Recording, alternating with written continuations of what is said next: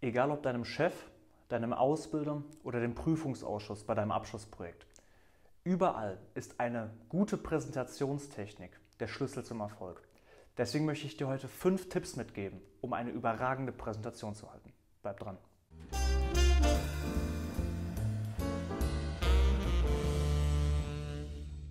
Erstmal vorab.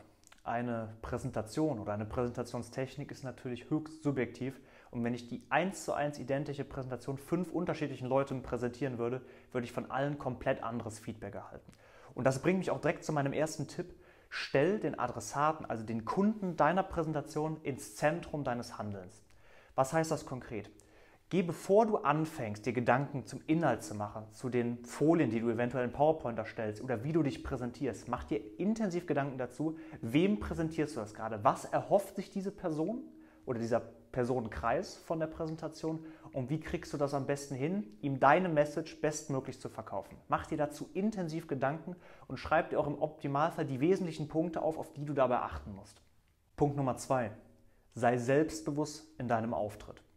Meiner Meinung nach erreicht man viel Selbstbewusstsein während der Präsentation, vor allem durch fachliche Kompetenz. Also das heißt, dass du dich in dem Thema auskennst, was du gerade vorträgst. Dazu würde ich dir empfehlen, arbeite intensiv an deinem Thema und bereite dich gut vor. Zudem finde ich auch, dass es ein guter und positiver Faktor ist, wenn man sich gut kleidet, wenn man ein gutes, eine gute Körperhaltung hat, also dass du dich breitbeinig hinstellst, breite Schultern machst und versuchst so auch entsprechend deine, äh, deine Sprechart und Weise anzupassen und dementsprechend auch einfach einen vernünftigen Ton rüberbringst. Man merkt dir in deiner Stimmfarbe an, wie selbstbewusst du gerade auftrittst und ein sehr selbstbewusstes Auftreten, was auch ja, ehrlicherweise schnell mal in Arroganz mündet, ähm, hilft dir trotzdem in den meisten Fällen extrem dabei, eine überzeugende Präsentation rüberzubringen, denn du musst selbstbewusst bei deiner Präsentation wirken, um den anderen auch glaubhaft rüberzubringen, dass du hinter deinem Thema stehst. Weil wenn du nicht selbstbewusst bei deiner Präsentation bist, wer sollte es sonst sein? Tipp Nummer drei. Baue dir eine spannende Story auf.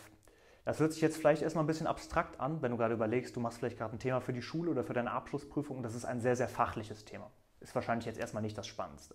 Trotzdem kannst du es schaffen, mich mit der richtigen Methode dein Thema spannend aufzubauen. Was mir immer sehr dabei hilft, ein passendes Thema sehr umfänglich erstmal zu starten und auch für den Zuhörer einzuleiten, ist folgendes Modell zu verwenden. Du fängst erstmal an, die Situation zu beschreiben, in dem sich das ganze Thema gerade befindet.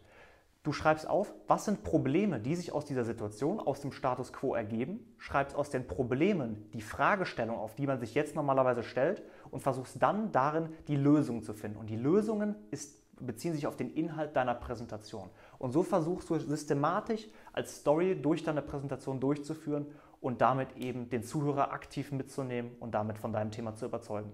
Tipp Nummer 4. Nutze die perfekte visuelle Darstellungsform. Ich glaube, in den meisten Fällen wird es dir auch so gehen wie mir, nutzt man ganz klassisch PowerPoint.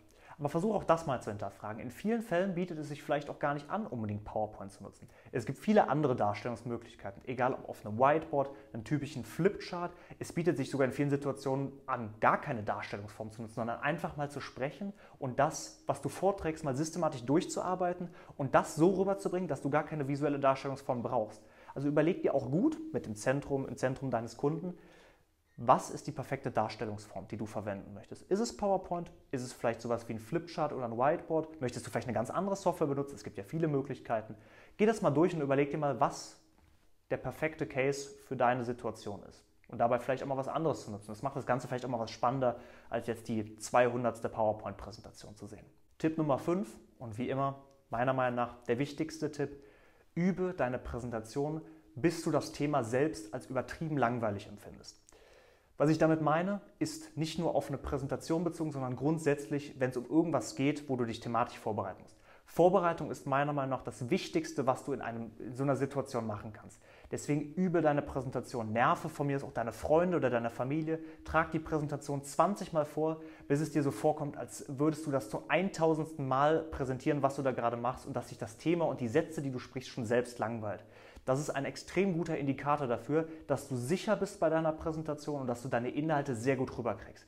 Also wirklich, geh deine Präsentation mit Sicherheit zehnmal durch. Vor allem, natürlich muss man das abwägen, wie wichtig die Präsentation ist. Wenn sie jetzt nicht so wichtig ist, reicht wahrscheinlich auch ein oder zweimal. Aber wenn es eine besonders wichtige Präsentation ist, beispielsweise bei deiner Abschlussprüfung, würde ich dir empfehlen, die Präsentation zehnmal durchzugehen und dabei auch immer wieder andere Leute vor dich zu setzen, weil so auch immer wieder anderes Feedback kommt und du immer wieder neue Punkte aufgreifen kannst, wie du deine Präsentation eventuell noch besser machst. Fandest du diese Tipps hilfreich oder würde es dich vielleicht sogar mal interessieren, dass ich mal systematisch durchgehe, wie ich eine Präsentation für mich aufbauen würde, an einem wirklichen Beispiel? Wenn das so ist, lass doch gerne ein Like da und schreib einen Kommentar, was dich explizit interessieren würde. Ansonsten würde ich mich wie immer freuen, wenn du den Kanal abonnierst und ich freue mich, wenn wir uns im nächsten Video von Ausbildung X wiedersehen, deinem Ausbildungspartner.